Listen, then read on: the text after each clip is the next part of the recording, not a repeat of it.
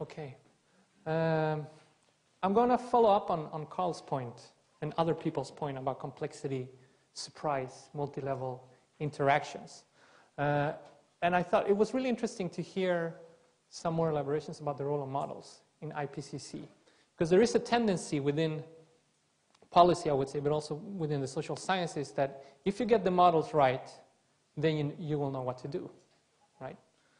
Uh, but the point is that even though you might have perfect models, there will always be an element of surprise. That's, some people call it the black, black swans. Other people call it uh, low probability, high impact events. And if you look into the pol political science literature and theory building around institutional challenges of environmental change, a lot of the literature focuses on incremental and predictable change.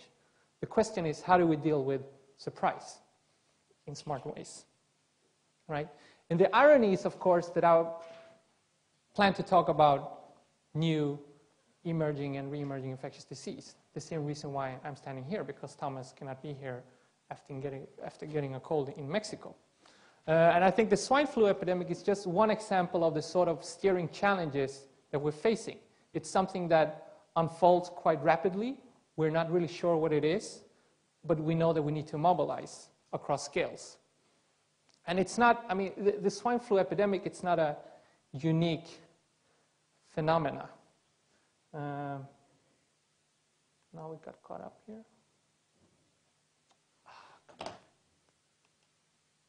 There we go.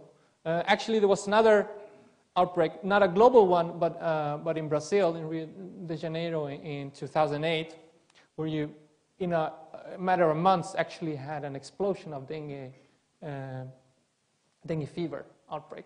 But once you get that sort of surprise element uh, in, into, into a government, uh, that, that sort of challenges the whole way things are steered, right? It sort of overwhelms the capacity of, of both strong and weak states. Uh, uh, one very obvious way to look at it, if you read uh, articles about the outbreak, is that people uh, start to blame government for doing something wrong or, or we were not prepared enough, and people really rapidly uh, lose trust to each other and, to politicians. And again, the case of, of, of Rio, Brazil, emerging and re-emerging infectious disease is not unique right? If you look, this is a map that shows the spread or the distribution of, of this mosquito vector Aedes aegypti in Latin America in the 1970s, right? In the 1970s, you could find this vector for dengue fever in only some parts of Latin America. In 2002, you can actually find that mosquito in almost the whole continent. And the question is, what has increased uh, the spread of this vector, what, what has increased our vulnerability uh, uh, for new health challenges. Obviously, that's, again, to bring up the point that now it died. the guy over there does like this.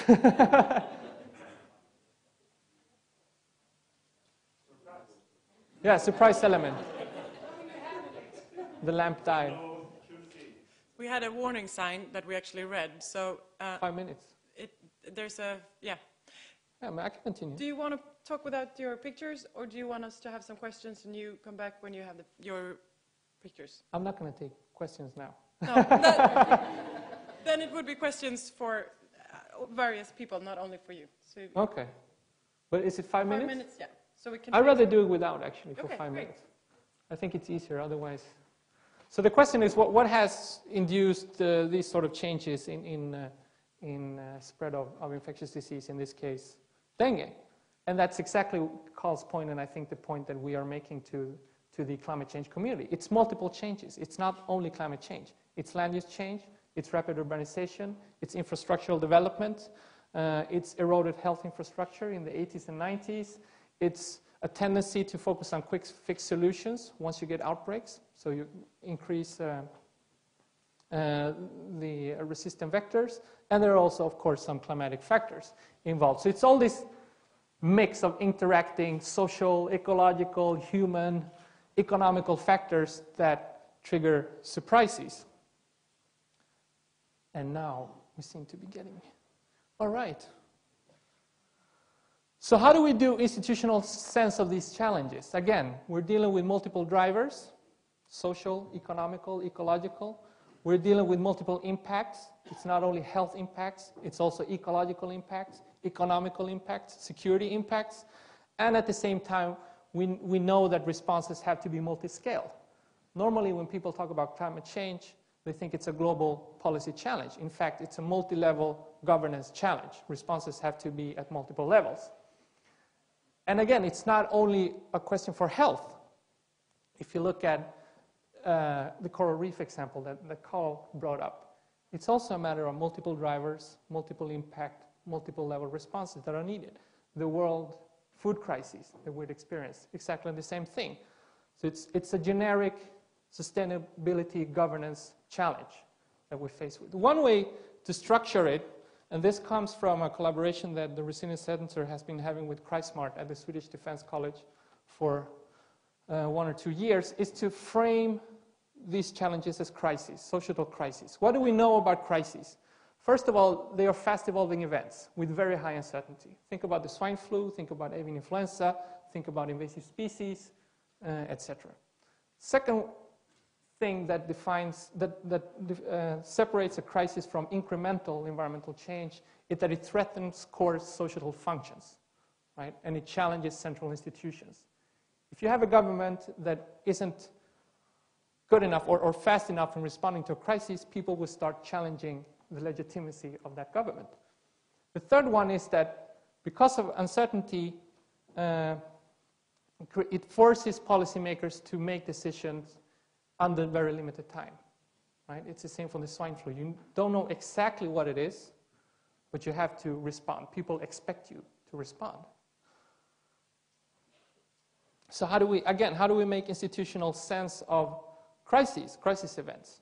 Normally in environmental policy literature, uh, there's a lot of focus on collective action problems, uh, environmental policy integration, et cetera, et cetera. I would say that these are new institutional challenges if you want to talk about crises and crisis events. First of all, what you need to do in, in different phases of a crisis is to talk about early warnings. What structures do you have in place in your government or at the global level to get early warnings? It's not a pure scientific question. It's also a matter of institutional design and policy. Right? Do you have the, the proper structure in place? The second one is what we're seeing at the moment, again with the swine flu as an example, sense making. What is going on? Who is responsible? What is the source of the problem? Where is the proper, where, where uh, in what level of government is, is the response uh, most effective, for example? Once you're going through that phase, you also at the same time have to coordinate promptly and respond promptly, which in itself is a big challenge.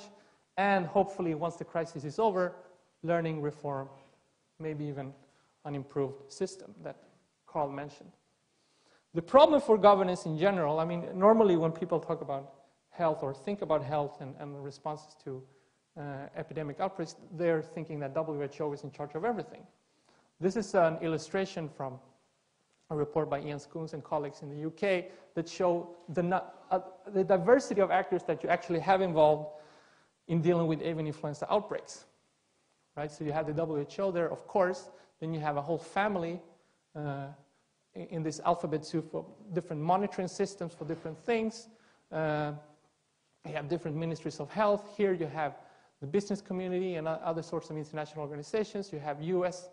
Uh, ministries, UNICEF, media, uh, private companies up here. So the question is, how do you secure early warning, sense-making, prompt response, learning, in a setting that is so fragmented in this soup. And that's a true challenge. So now moving into more of the optimistic part of my talk. Uh, this is a quote from an interview I did with David Heymann at the WHO a year ago. David Heymann is sort of uh, the mastermind actually behind uh, pandemic preparedness. So he's the person that has built up the whole institutional structure that we're now seeing being mobilized to combat the swine flu. And his message was, I'm just going to, I guess people in the back are not able to read it, all of a sudden we had a very powerful system that brought in much more information from more countries, and we were able to go to countries confidentially and validate what was going on, and if they needed help, we provided help. And we provided help by bringing together many different institutions from around the world that started to work with us. Right? And he talks about a development from the, from the mid 1990s. And this whole process of getting better early warnings and facilitating coordination was supported by the evolution of information technology. Right? So the, the evolution of information technology, the rapid spread of information from one part to the world to the other, is reducing transaction costs. I mean, it's fairly, it's free. I mean, sending information from one part of the, uh, one part of the world to another is free now, very easy. At the same time, it reduces transaction costs for collective action, which builds stronger capacity to deal with surprise. That's my take on it. So here's another map. You're probably not able to see anything, and you don't have to see the details, but it's not the fragmented nature of global governance. It's not uncoordinated. It's not a total mess. In fact, what you see are different linkages between different actors. You see a global capacity to communicate across international organizations, non-state actors, etc., etc. So, for example, here you have the WHO, but it's also uh, collaborating closely with USAID, UNDG, the Afro-WHO INT, the World Food Program, Relief Web. Uh, here you get, have the Americans and the American organization, the Red Cross, the European Center for Disease Control, et cetera, et cetera. So there is some communication, there is coordination going on at the global level, and that is facilitated by Uh, information technology, I would say. So that's more hopeful in a sense. It's not all messy and complex and impossible to coordinate. So just to wrap up, what are the implications for policy, climate change policy, development ecosystem? First of all, I mean, obviously, we need to deal with known risk makers, exactly what Carl talked about. We know what sort of things that policy or, or other actors are doing that reduce resilience. We know that already, right, for coral reefs, uh, et cetera, et cetera. But on the other hand, you not only need to deal with sort of uh, these slow drivers, you also have to build some sort of capacity to deal with interactions, which is the surprise element that's doable. That's something you can do, but it's something different compared to more environmental policy or institutional reforms to focus on more slow incremental change. And the third aspect uh, is that even though we live in a much more interconnected, messy, and global risk planet, there is a way to look at it as a, as a global pool of ingenuity, diversity, and innovation. Uh, I think our, our strength lies in there. I think the swine flu case shows not only the risk involved in globalization, but actually show us what the global community can do together quite rapidly despite crises, high uncertainty, and, and limited time to act. I think that's it. Thank you for listening.